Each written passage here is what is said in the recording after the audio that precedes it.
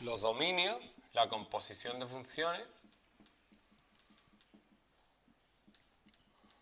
que mete una función dentro de otra.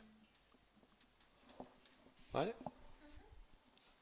Por ejemplo, yo tengo f de x igual a x más 3. Y g de x que fuera, yo qué sé, x cuadrado. ¿Vale? Vamos a poner x partido 2. Para hacerlo lo más simple posible. Entonces, componer estas funciones, aplicar una y luego aplicar otra. Me explico. Una función es como una máquina que le hace algo a la x, ¿vale? Entonces yo puedo aplicar primero f y luego g.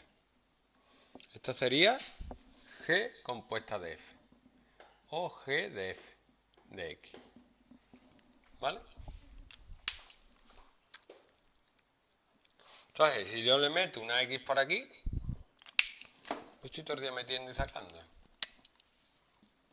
La f lo que hace es sumarle 3. Entonces por aquí sale x más 3. ¿Vale?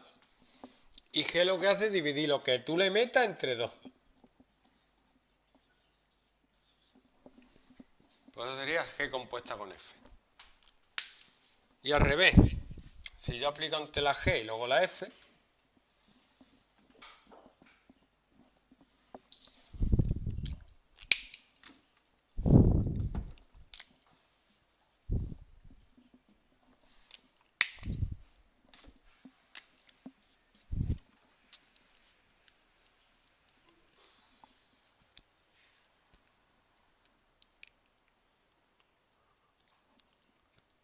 Meto la X. La G lo que hace es dividirla entre 2. Y F lo que hace a lo que tú le metas le suma 3. Fíjate que esto no es lo mismo que esto. O si es lo mismo. No. Si tú le metes aquí un 1, sería 1 más 3, 4 entre 2, 2. Y si le metes un 1 sería 3,5. No es lo mismo. No da lo mismo. ¿Vale? Mm, matemáticamente esto se habría que escribirlo así. G compuesta con F de X es G de F de X. Que sería G de X más 3. Que sería coger G y aplicárselo a X más 3. Es decir, sería X más 3 partido 2. ¿Vale? Y f compuesta con g de x sería f de g de x. Sería f de x partido 2 que sería aplicarle f que es x más 3 a x partido 2 es decir, sería x partido 2 más 3 que no es lo mismo.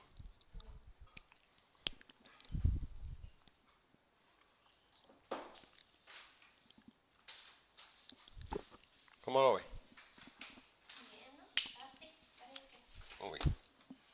Una función un poco más... Mm. Un poco una locura, pero...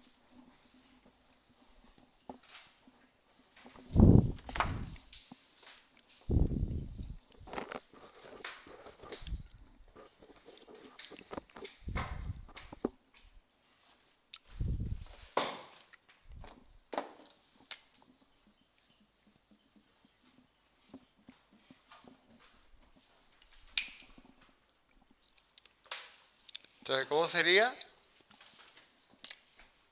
f compuesta con g?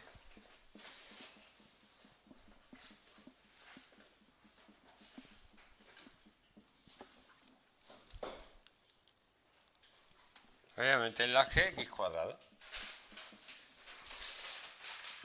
Y ese x cuadrado sería sustituir x por x cuadrado.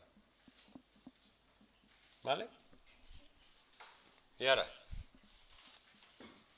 G compuesta con f de x sería g de f de x. Que sería g de 2x menos 3, es decir, aplicar g, que es el cuadrado, de 2x menos 3. No es lo mismo. Siempre hay que ir No. Que para no equivocarme parece que mejor. Si lo ve, lo hace del tirón y ya está.